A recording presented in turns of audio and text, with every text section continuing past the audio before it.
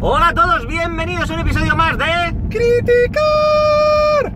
Regresa después del verano y tenemos la película El Rascacielos. Skyscraper. Skyscraper. Skyscraper. Skyscraper. Rasca, cielo. ¿Eh? Sky es rasca y scraper, cielo. Claro. Ahí estamos, volvemos tras el verano con energías renovadas, parecemos otros. eh, Yo no tanto, ¿eh? Yo to- todavía necesito un, un par de meses más. Sí, yo también, yo, yo si me dan un par de meses más, los cojo sin pensarlo. Sí, pues a ver, este, hemos estado descansando y ¿qué pe- eh, hemos dicho, ¿qué película hemos visto los dos Exacto, este ¿qué película verano? hemos visto los dos este verano? Aunque no la hemos visto juntos, por cierto, porque claro, nuestras agendas no han Yo, coincidido, sí, yo nuestras tenía, agendas de yo una agenda totalmente vacía, pero la del doctor estaba muy llena. Oh, venga, eventos. Y yo a veces le llamaba y decía, oye doctor, vamos al cine. No, es que tengo mucho lío, Es que tengo mucho lío en verano". compromisos sociales y. Bueno, Bueno, pues nada. me o sea, reclaman de todos los festivales. uh, así que me tuve que ir solito a ver Rascacielos. He visto otras también, pero otras que no he visto el doctor y viceversa. Claro, entonces eh, ya sé, ya sé, el rascacielos ya ni siquiera está en muchos cines, pero ¿qué Bueno, vamos pues a hacer? es la que hemos que visto. hay. Ahora que empieza ya, vuelve septiembre, ya empezaremos a ir a ver estrenos, Exacto, novedades. estrenos, novedades. Es bueno, lo que hay, tampoco una- nos podéis maravilla. exigir. Ya sabéis que esto es lo que es, o sea, esto podía ser una referencia al cine mundial, pero eh, no, por ahora no, por desgracia no, eh, y el rascacielos tampoco se va a quedar para la historia del cine, eh, tampoco va a Bueno. ser, pero, pero oye, No, eh, eh, está ver, entretenida. Es una película muy entretenida, palomitera, una Exacto. peli de acción. Dwayne Johnson, mm, no, O o sea, sea, es ¿qué, que-? ¿qué queréis? ¿Qué Vamos queréis, a ver, Dwayne Johnson? no engaña a nadie, no engaña a nadie.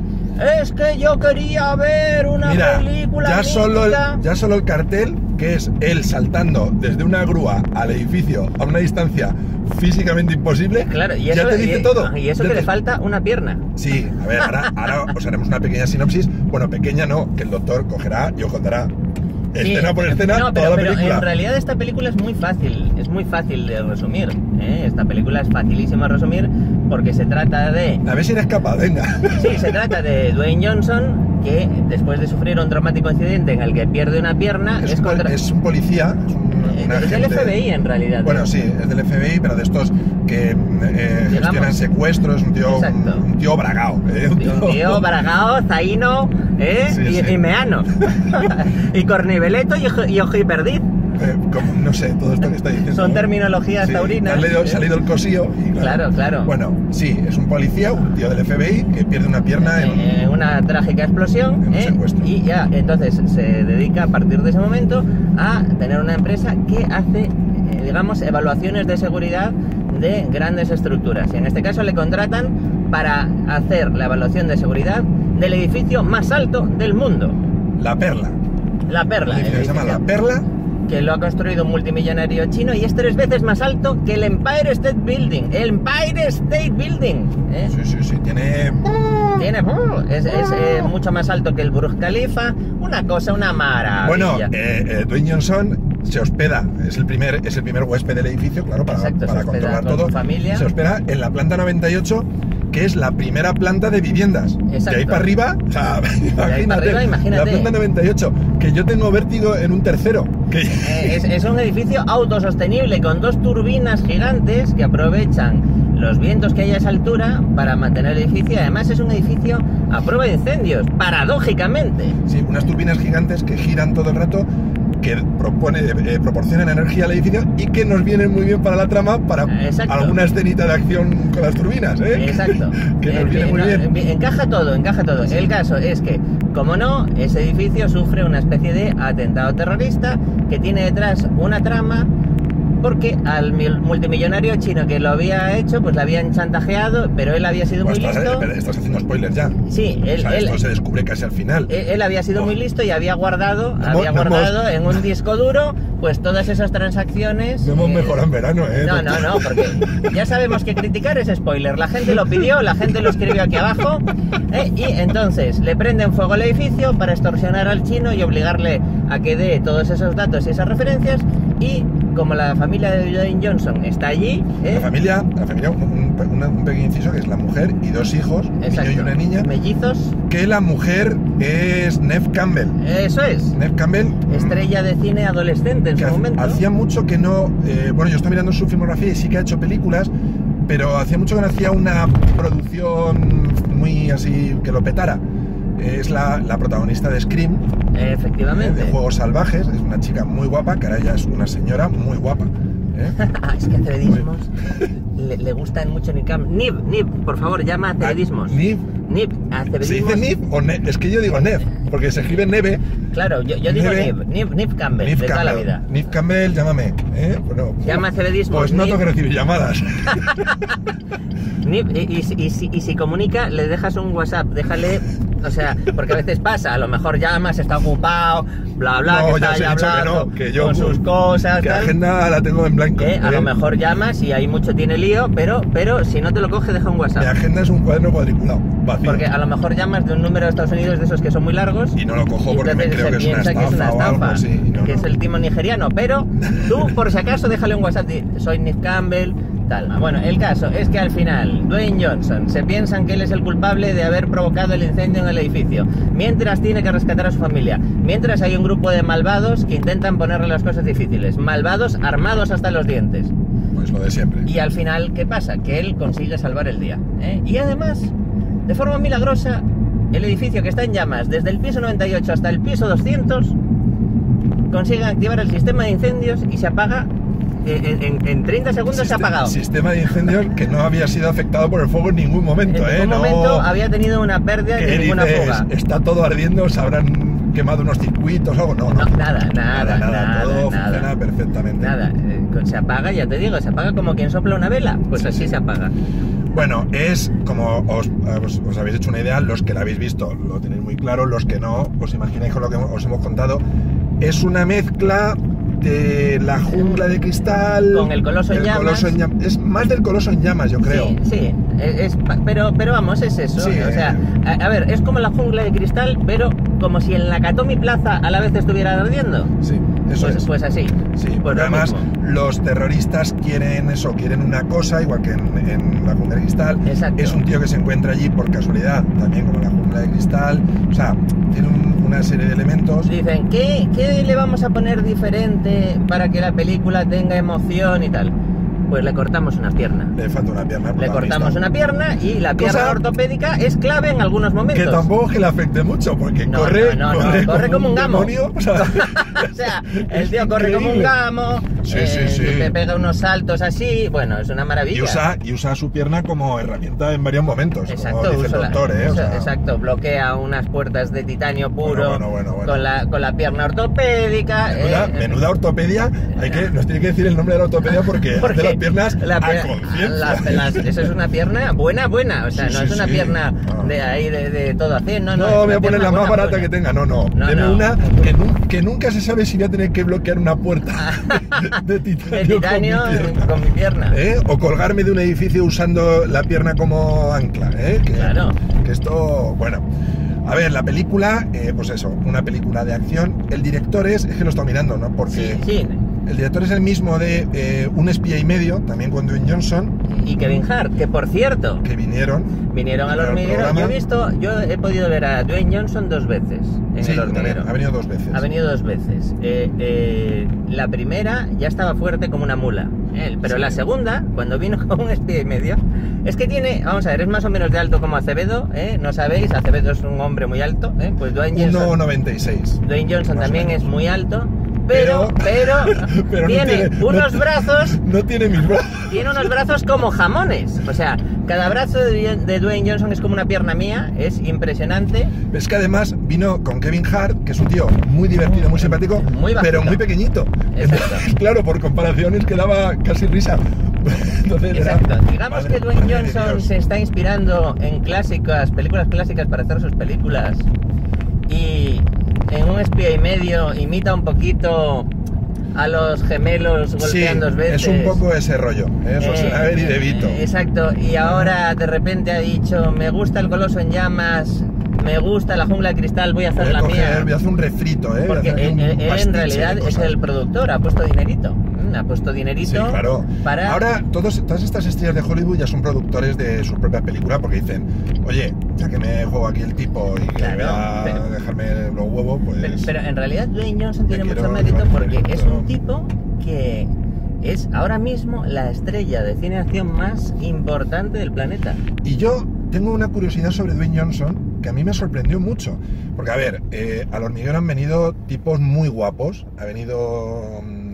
Eh, se me olvidan los nombres. Yo que sé, Bradley Cooper. Bradley Cooper, por ejemplo, ha venido eh, Hugh Jackman. Ha, ha venido eh, Chris Hemsworth. Tíos objetivamente muy guapos. Y nuestras compañeras, las chicas del equipo, las chicas que andan por ahí en la, en la productora, pues claro, oh, qué guapo. qué Ay, tal". ay, qué maravilla. Yo, pero yo, por ejemplo, no esperaba que de la roca de Dwayne Johnson dijeran eso. The Rock. Porque es un tipo que, vale, está cachas, es muy divertido, todo lo que sea, pero a mí no me parece un tío guapo. Yo creo que Sin supera, embargo- supera el punto de estar cachas. Es que es una mole. Es una o sea, mole. es que no puede pegar los brazos al cuerpo. O sea, es que va. Es que es una, es una bestia pues, parda. todas las chicas del equipo estaban enamoradas de él. Sí, sí. Eh, ¡Qué sonrisa! ¡Qué claro, sonrisa! eso que decían, qué sonrisa, qué sonrisa. Es verdad que tiene una sonrisa preciosa, iba sonriendo todo el rato, era un tío súper amable, súper majo, Exacto. pero yo, pues mira, oye, pues las trae, las Johnson- trae locas, Dwayne Johnson. ¿eh? Dwayne Johnson es un tipo, eh, como invitado, maravilloso. O sea, es un tipo que lo da todo. Sí, sí, sí. A ver, es eh, de de- esos invitados que apetecen. Claro, porque es que es un profesional, él sabe que va a un programa de entretenimiento y lo da todo. Entonces tiene muy claro que quiere promocionar su película, tiene muy claro que está haciendo un show y pone todo de su parte. Hombre, sinceramente, la mayoría de las estrellas de Hollywood son así. O sea, saben, Son unos saben, saben lo que tienen que hacer. Es decir, muy poquitas estrellas de Hollywood mm, que digas, viene a cubrir el expediente y ya está. No, no, vienen a darlo todo. Entonces, pues eso, el, el Rajacielo, ¿la recomendamos? ¿No la recomendamos? A ver, el rascacielos. Yo no sé, creo que ya no está en cines casi. No, no, prácticamente En quedan, poca- quedan pocas salas. Pero bueno, cuando salga en Blu-ray o en plataformas digitales o donde sea, la tenéis que ver. La, la veis, si queréis Sí. pasar un rato entretenido, Sí. o sea, no pretendáis, o sea, es que resulta, a ver, porque yo he leído críticas de esta película por críticos y creo que no se enteran muy bien de qué han ido a ver. O sea, es que a lo mejor se esperaban que esto fuera, eh, no sé, una comedia, o digo, perdón, una película llena de interpretaciones memorables. O sea, no, perdón, no, o sea, ¿no te das cuenta? O sea, ¿no has visto el cartel? Claro, pero ¿No es ves que es por dónde eso, van los tiros? Es, adrenalina pura y ya está. Exacto. Que por cierto, por cierto, de vértigo. los que los que tengáis vértigo como yo, mm, a lo mejor lo pasáis regular. ¿eh? Yo, por ejemplo, en Eso está muy bien conseguido. Tiene unas escenas Sí. de mucho vértigo Sí. muy conseguidas. hay una escena, no reviento nada, hay una escena muy parecida a la de Pero Misión si ya he Imposible. reventado yo todo. Bueno, pero a mí no me gusta. En Misión Imposible 4, cuando Tom Cruise se cuelga del edificio este de Dubai Del Burj Khalifa. con unos guantes que se pegan y tal, que por cierto Tom Cruise lo hizo de verdad, se colgó de verdad con arneses y eso, pero se colgó. Bueno, pues en esta hay una escena muy parecida, ¿vale? Que Dwayne Johnson utiliza cinta, cinta americana en lugar de guantes tecnológicos. Bueno, pues es el mismo tipo de escena. Y yo en las dos lo pasé muy mal. O sea, a mí me sudaban las manos. Yo cuando veo a alguien Tiene colgado... vértigo, vértigo de verdad. Sí, tengo vértigo, además, eh, vértigo, ¿cómo se dice? Ajeno, como igual que la vergüenza ajena, tengo vértigo ajeno. Si veo... Esto, a- esto, amigos, esto, amigos, pocos psiquiatras lo han estudiado. El vértigo No, ajeno. es verdad, o sea, porque si yo Vienen estoy, pocos manuales. yo estoy en una terraza muy alta, tengo vértigo, pero si yo estoy abajo o, o estoy viendo una película y veo a alguien en un sitio alto, también tengo vértigo. Es Además, vértigo por simpatía. Es como, como el embarazo fantasma, el Sí, embarazo pues, psicológico de los padres, que lo- algunos padres también le dan mismo. náuseas y eso. Lo mismo, Pues pues, lo mismo. eh, además que es una tontería porque sé que es una película, sé que está grabada, sé que no ha pasado nada, sé que ya está montada y aún así pues lo pasó mal. Oye, mira, Mira qué, mira qué cosas. Que por cierto, esta película tiene luego, eh, bueno, hemos hablado de no películas. me digas que tiene digamos- escenas post créditos que no me quedé. No, no, escenas post créditos no. Tengo que decir que en realidad de esta película, pues ya hemos hablado de que tiene, entre comillas, homenajes a películas clásicas, eh, como La Jungla de Cristal, El Coloso en Llamas. Homenajes. Digamos que se han inspirado un Eh, poco. llámale. Se han inspirado. Homenaje, llámale copia. Llámale. Bueno. Exacto. Eh, Entonces, en lo alto del edificio hay una esfera, una esfera llena de monitores de alta tecnología, alta definición, 8K, no sé qué. Una esfera, perdón, una esfera blanca que desde fuera parece una perla, por eso se llama el edificio La Perla. Exacto, ¿eh? le, da, le da nombre al edificio. Y dentro de, de esa esfera hay gran parte del desenlace. ¿eh? Entonces, utilizan todos estos monitores de alta definición para hacer la réplica de lo que habéis visto ya en muchas otras películas, de El laberinto de espejos. Por ejemplo, en La condesa de Shanghái, que se ve a Orson Welles en El laberinto de espejos. Luego Woody Allen, por ejemplo, en El escorpión de Jade le hace un homenaje a esa escena del laberinto Sí. de espejos. En muchas, muchas películas. Esa, esa misma escena también hay una parecida, no tan exagerada, en, en Operación Dragón, creo que una de Bruce, Sí, de sí. Bruce Lee, Operación En- Dragón. Enter the Dragon. Enter the Operación- Dragon. Operación Dragón. Y en, y en una película, además muy reciente, John Wick 2, Efectivamente. que John es Wick muy 2, mala. Así como la 1 es muy buena, John Wick 2 es muy mala. Pero bueno, mi, mi opinión, ¿eh? No quiero Pues, pues, a- crea- pues también hacen el, el laberinto de espejos. Es decir, eh, los guionistas en realidad yo creo que han cogido momentos de otras películas que les han gustado y han montado una nueva. Bueno, se han, pues, han hecho hincapié oye, en, lo- en los escen- en las escenas de acción. De hecho, el propio Dwayne Johnson dice que posiblemente esta es la película físicamente más exigente de todas las que ha hecho. Hombre, es que se ha, hecho, vista- se ha hecho la mitad de lo que parece en la peli, ya está. ¿eh? Sí, sí, sí. He hecho más ejercicio que yo en toda mi vida. Sí, la, la verdad que otra cosa no. ¿eh? Eh, bueno, he leído 10 cosas de Dwayne Johnson que no sabías.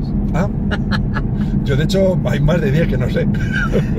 Y entre otras cosas dice que solo duerme 4 horas al día, que se levanta a las 4 y media de la mañana por rutina, porque así eh, cuando todo el mundo está en silencio, la casa está en silencio, inicia su día, hace sus rutinas de meditación, sus cosas, tal, luego hace sus ejercicios, pero solo duermes 4 horas al día. Pero eso, eso te va a dar algo. O sea, El cuerpo necesita sueño, el O sea, cerebro necesita ver, eh, regenerarse y se regenera por la noche, Dwayne. Claro, Dwayne, eh, ver, vamos a ver. mira. eh, el, la- el líquido cefalorraquídeo por la noche circula por las cisternas cerebrales y es una forma de limpiar, digamos, entre comillas, no, lo que técnicamente esto es así. Si algún neurólogo o neurocirujano me está viendo, estará diciendo ¿Qué aberraciones fisiológicas está diciendo Friki Doctor? Estoy intentando explicar para que no meterme en términos Modo técnicos, sencillo, ¿no? en modo sencillo, pero digamos que eso es una función de- Mira, del sueño. En el sueño se organizan los recuerdos, tiene mucha importancia para conservar la memoria. Oye, Dwayne, Dwayne, duerme, Mira, llama, llama a Friki Doctor y que te lo explique y te dice. duerme, por favor. O sea, eh, Nef me llama a mí y, y Dwayne que llame a Friki Doctor. Llámame, Y yo, yo- yo cosas. te explico que tienes que dormir más de 4 horas al día. Y rueda ahora mismo entre 3 y 4 pelis. Sí, he leído que está haciendo eh, Jumanji 2. Otra vez. O sea, Jumanji y- 2, o sea, es- la, la- es la la nueva 2 Jumanji, la dos. 2 de la nueva. O sea, me- que sería Jumanji 3 realmente. Bueno, Joder. es- esto es como Rambo, con los números que se pierden. Por cierto, ¿sabes que va a haber otra película de Rambo? Otra película de Rambo Las porque que quiera. Claro, porque cuando vimos John, John Rambo, John Rambo vuelve a su hogar, deja, digamos, las selvas, un hombre que la caza de culebras, que vi- se vi- dedica a cazar vi- culebras. vida selvática, tal, vuelve, ¿eh? ¿Qué vuelve película, a, a- qué película más gore? Sí, sí. ¿Qué película más gore? La última de Rambo. Pero, pero, pero Rambo 2 también fue No, una pero, película... pero era un gore diferente. Es que esta es demasiado explícita la sangre y los No, pero, pero- desmembramientos. pero es, lo- típico, es típico de Rambo. Yo, mí me, me encantaba ver eso de pequeño. Sí, claro, así ha salido.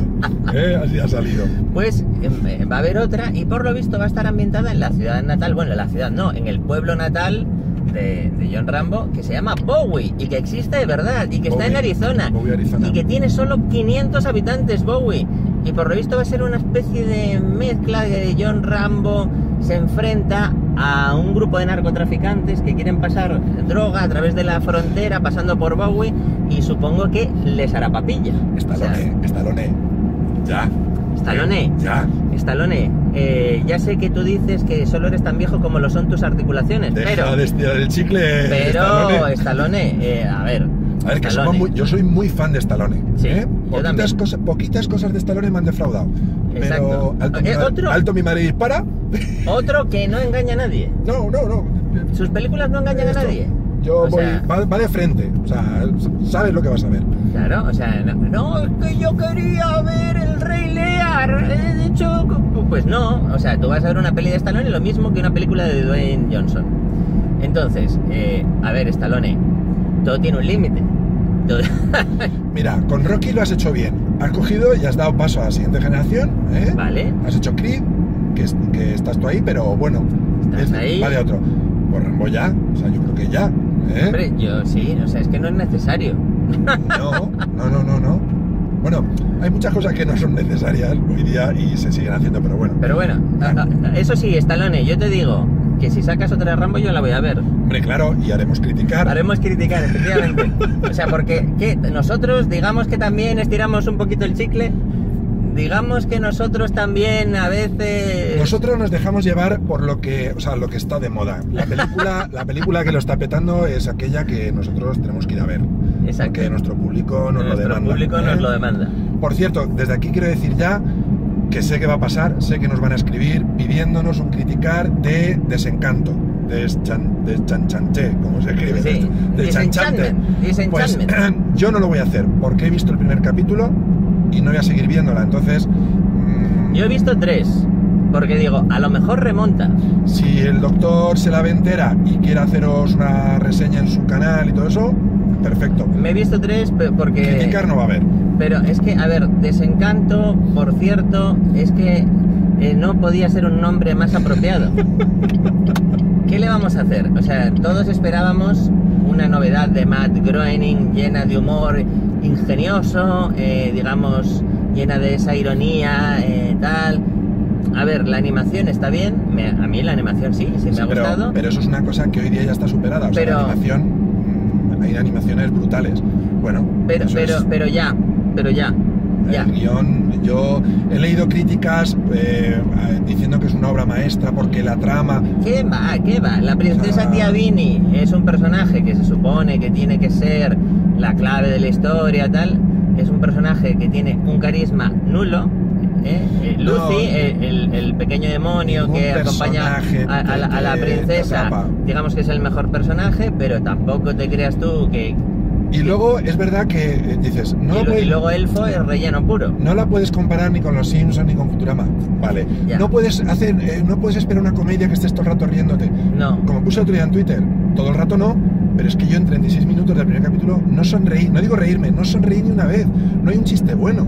O sea, No. los chistes consisten en que el padre se duerme en la boda, que eructa, que...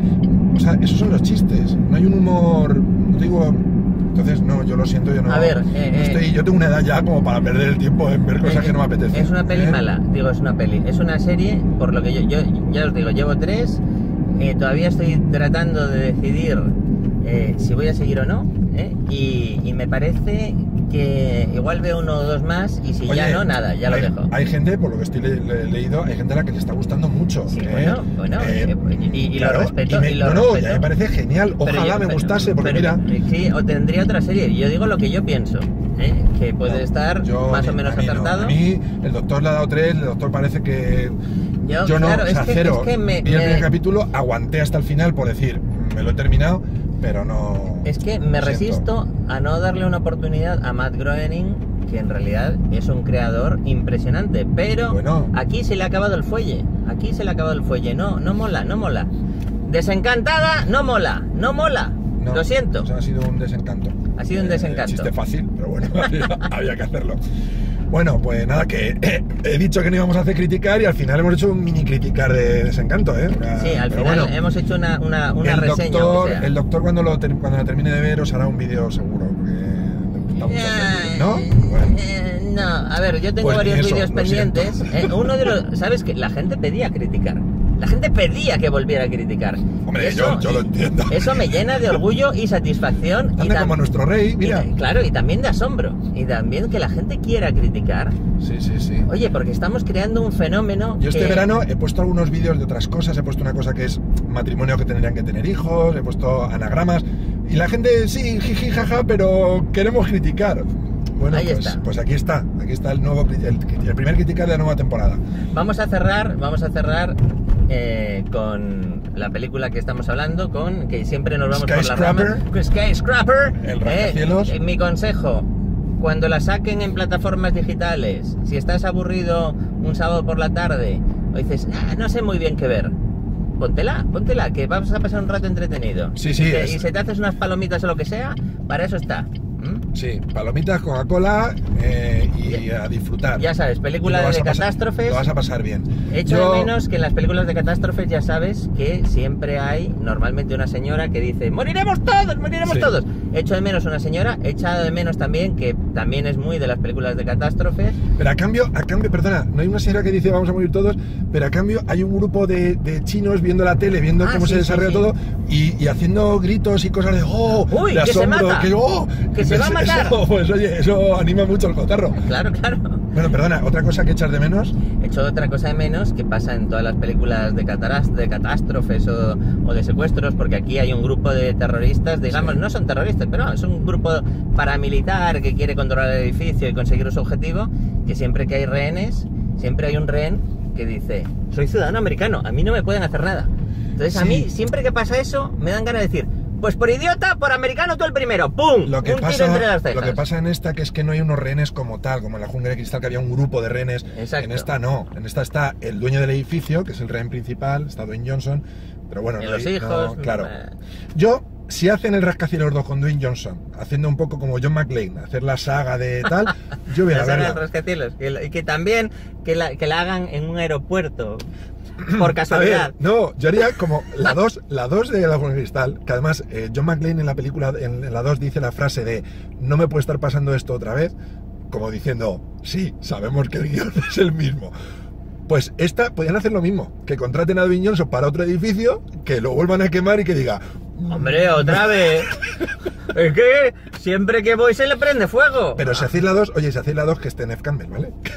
Qué mala. Claro, imagínate niños. Qué, qué mala suerte. Jo, Ya es mm. mala suerte. Otra vez, otro edificio, madre Y- mía. Y, lo ha hecho el mismo chino. No, pero el chino ya no está. Sí. Ah, sí, Sí, no, dice- claro. creí que decían los malos, no, el chino es el dueño. Claro, ah, voy- ha hecho otro edificio y Porque otra además vez. la frase final de la película, spoiler total, ya cuando se están yendo en el helicóptero ya se les han salvado al, al dueño del edificio y a él. ¿Y qué piensas Dice, hacer? ¿qué piensas hacer? Dice, reconstruir.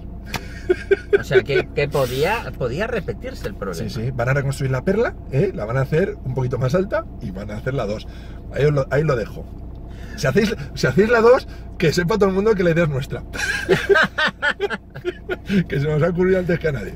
Don Johnson, te la vendo. Te la vendo por 10 mil millones de dólares. Bueno, por, por 100, 100 euros. Te la vendo. 50 para CB y 50 para mí. Madre mía, madre mía, tenemos camisetas. ¿Cómo? ¡Ah!